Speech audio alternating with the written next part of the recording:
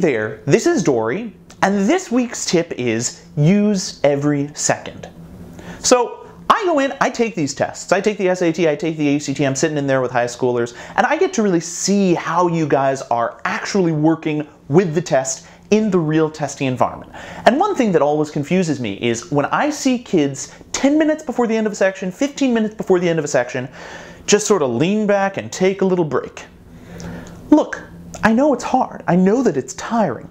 But giving yourself a mental break is actually not going to be as beneficial as keeping your momentum going.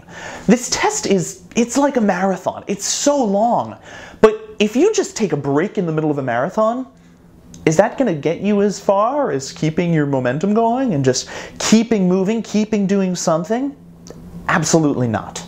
So when you get to the end of your target numbers, or when you've worked to the end of a section, don't stop. Keep going. Go back and check your work. Go look at the things you weren't 100% sure about. Go back and do things a second time if you already did them. You know, like do the work again. Double check it.